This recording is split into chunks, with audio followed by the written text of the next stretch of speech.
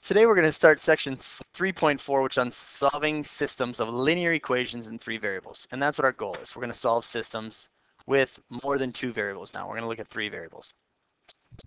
So just like we did in section 3.1 and 3.2, um, we're going to use elimination, we're going to use substitution to solve systems of equations.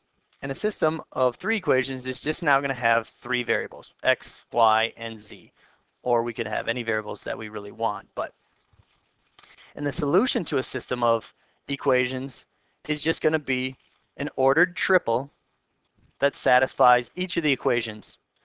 So you plug in the ordered pair, it's true, it's a solution. You plug in the ordered pair and it's not true for every equation in the system, it's not a solution. And we're going to use either the elimination method or the substitution method, but most, most often we're going to use the elimination method. And here's what we have to do. Now, our goal is to eliminate one of these variables more than one time. So we're going to use two different equations. And so we're going to set it up twice to eliminate the same variable. If we do that, then we'll have a problem that looks exactly like what we did in section 7.2. So we're going to start in example one, and we're going to use the elimination method. And what I'm going to do is I'm going to eliminate the variable x. So if I look at the x's on these two, I notice I just have to multiply the top equation by negative 3. So we're going to do that. Multiply the top one by negative 3. So that gives us negative 6x plus 3y minus 18z equals 12. And then I'm just going to rewrite the other one down because that's going to give me what I need to cancel the x's out. So we add them up. x's are gone. We get 7y minus 23z equals 5. So now we have to use the bottom one and then either of those other two equations. Well, I'm going to use the top one. So we're going to use those two. And if we notice that, to get rid of the x's again, I'm going to have to multiply the top one by 2. So we're going to write this one down, multiply it by 2. So that's going to be 4x minus 2y plus 12z equals negative 8. And then we're just going to rewrite this one down because that's what's going to help us get rid of the x. So we add them up. x's cancel out. We have negative 4y plus 17z equals 1. Oops, I forgot to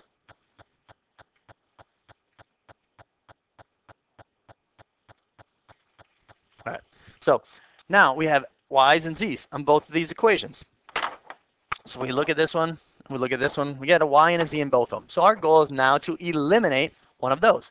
Well, the easier one's obviously going to be y. So we want to multiply this equation by 4 because that's going to help us get rid of the y. So this can be 28y minus and we have 23 times 4. So that's going to give us 92. So it's a negative 92z equals 20. Then we're going to take this one, equation, and we're going to multiply it by 7. That's going to give us a negative 28y. We have 17 times 7, which gives us 119. Equals 7. And we add them up.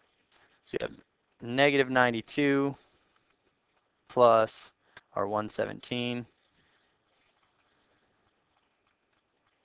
gives us 25z. That equals 27. And we solve it. I wrote this bad. It's a 119 that gives us a 27z.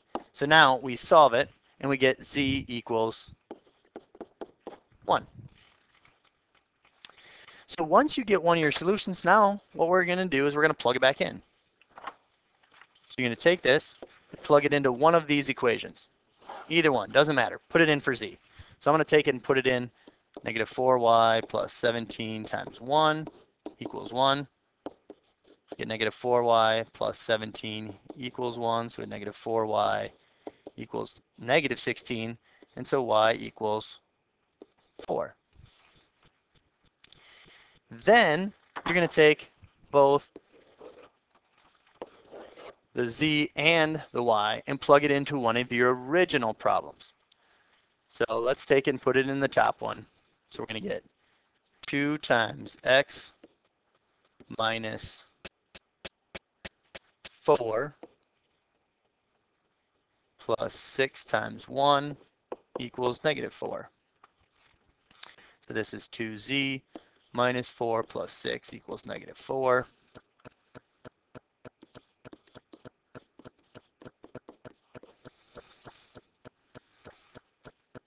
So we get 2z equals negative 6 and z equals negative 3. So then we have all three of our numbers. Oh, these are x's. So x equals negative 3, y equals 4, and z equals 1.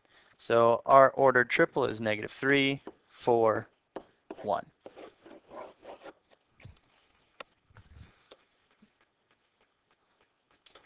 Then in example 2, we're going to solve a system of three variables that have no solution. And again, the same thing is true. If your variables disappear and you get something that's not true at the end, then there's no solution. Well, the easiest way to look at this is to see, are there two equations here, or if I put them together right away, I'll be able to do that. So let's take the top one and the bottom one, and let's multiply the top one by negative 3. We're going to cancel the x's out. So this is going to be negative 3x minus 3y plus 3z equals negative 6. And then I'm just going to rewrite the second one. 3x plus 3y minus 3z equals 8. And notice here, these all cancel out, so I'm left with 0 equals 2. So you get to that. Obviously, that's not true, so it's no solution. Okay, that may not happen in the first step. May happen in the second step. But anytime your variables disappear and you get a not true statement, it's no solution. If we would get our variables disappear and it is a true solution, then that's going to be just like example three, where there are many solutions. So let's look at that problem. So in this case, um, I'm going to eliminate the z's because I see a negative z there and the other ones are positive. So I'm going to have x plus y plus z equals 3, x plus y minus z equals 3. I didn't have to multiply either of those by anything, so I'm going to get 2x plus 2y equals 6. So now I'm going to use the bottom two. And again, it doesn't matter which ones you use as long as you use all three of them. So we're going to have, in the bottom one, I'm going to have to multiply this by, again, we have to get rid of the z, so by nothing. X plus y minus z equals 3. And then 2x plus 2y plus z equals 6.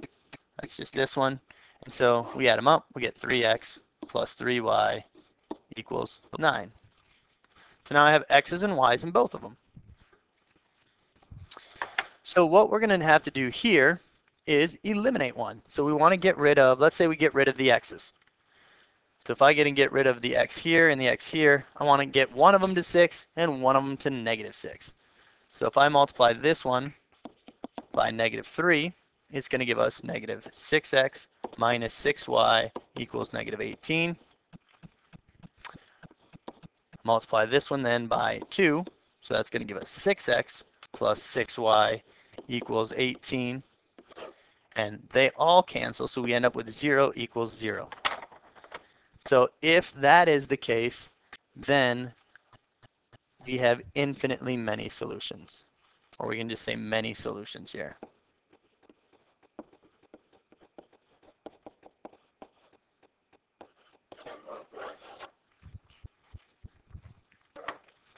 All right, so we looked at a couple of solving a couple of these using three variables.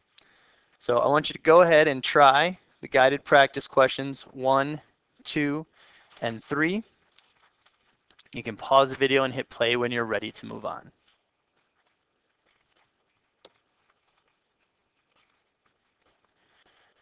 And here are the answers to your guided practice questions.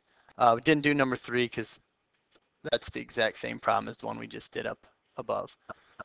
So, so your order triple for number one is one, three, negative two. And for number two, there is no solution to that problem. Now, the main reason that we're going to look at problems like this is so that we can solve word problems.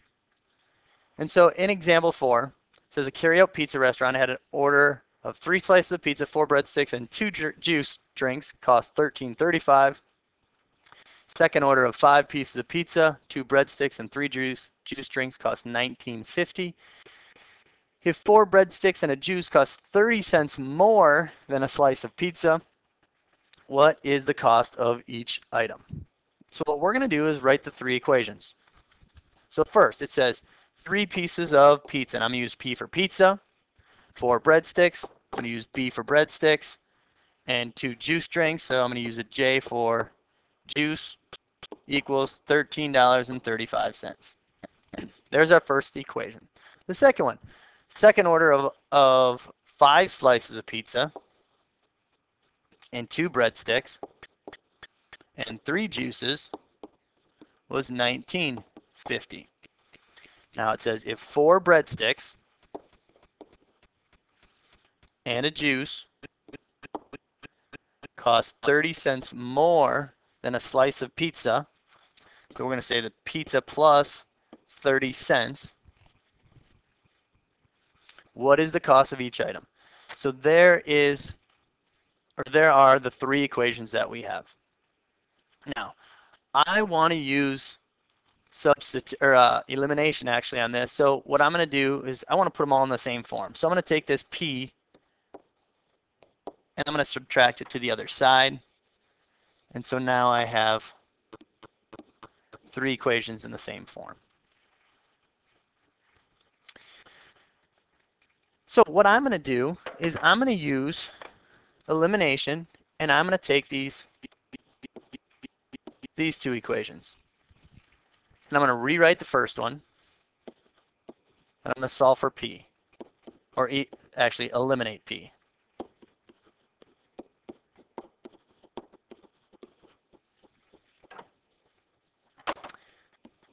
And so to do that, I'm going to multiply by 3.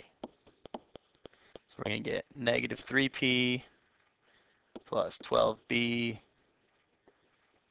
plus 3J equals 90 cents. And we add them up. So we're going to get 16b plus 5j equals 1425. So now I have two equations, or I have one equation with a b and a j. And so now I have to eliminate p from my other problem. So we're going to take the middle equation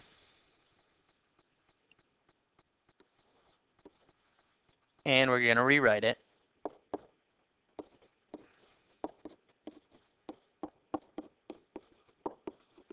And now we're going to use the bottom one and we're going to multiply this this time by 5 because we want to eliminate again the p.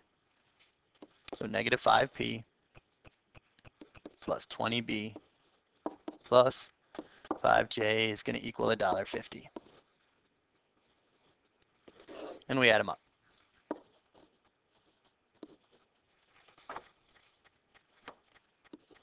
Twenty-two B's and eight J's and twenty-one. So now it's going to be easiest for us to get rid of the j because those are the smaller numbers. So we're going to take this equation and multiply it by 8. So if I multiply that by 8, we're going to get 128b plus 40j equals 114. And we're going to take this one and we're going to multiply it by negative 5. So if we do that, we're going to get negative 110b minus the 40j equals negative 105. We have 18b equals 9, which means b is 0.5 or 1 half. Then we plug them back. So let's put it into here. So half of 22 is 11. So we're going to have 11 plus 8j equals 21. So that means 8j is going to be 10. And if we divide that, the j is $1.25.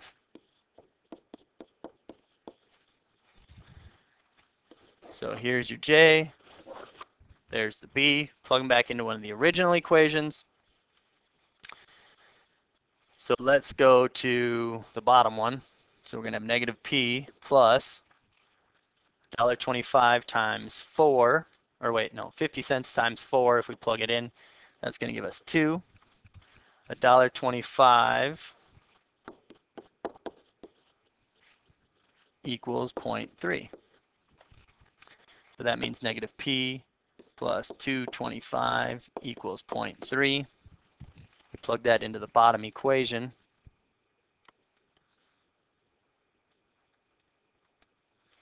So we're going to get negative P equals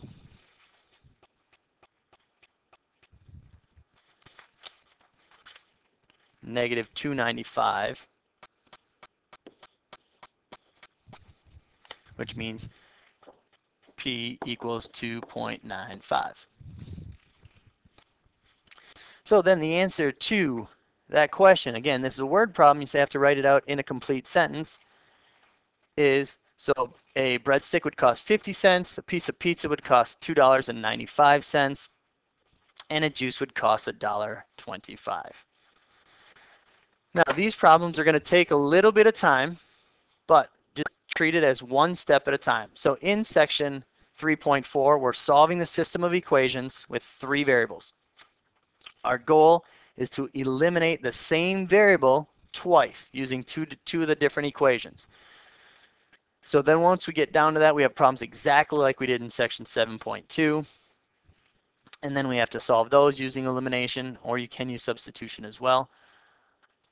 And then once you get those, then you plug it back in as we go along. So here is your homework assignment. It's on page 182. Uh, there are questions um, 38 and 40 if you're interested in doing those, you can do those for extra credit and you'll just have to turn those into me. So here is your assignment for section 3.4, which is on solving systems of linear equations in three variables.